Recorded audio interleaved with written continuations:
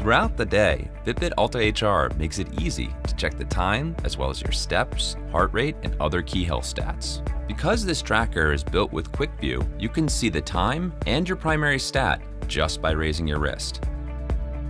If you have not turned on Quick View in the app, you can also activate your screen by double tapping the display in the bottom corner of the screen. Your clock face will be first. Then you can tap to start scrolling through your stats. Here's your step count for the day. Continue tapping to see stats like current heart rate, distance, calories burned, active minutes, and an alarm if you set one in the app. Fitbit Alta HR can also display text and calls from your mobile device. Anytime you receive a notification, you'll get a subtle vibration. From there, simply lift your wrist to see the notification scroll across your screen. If you'd like to customize which stats appear on display, open the Fitbit app.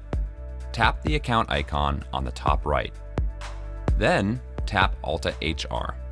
Choose Customize Display. Then drag and drop stats to change the order they will appear. You can also hide or add stats by tapping the circle to the left of the stat.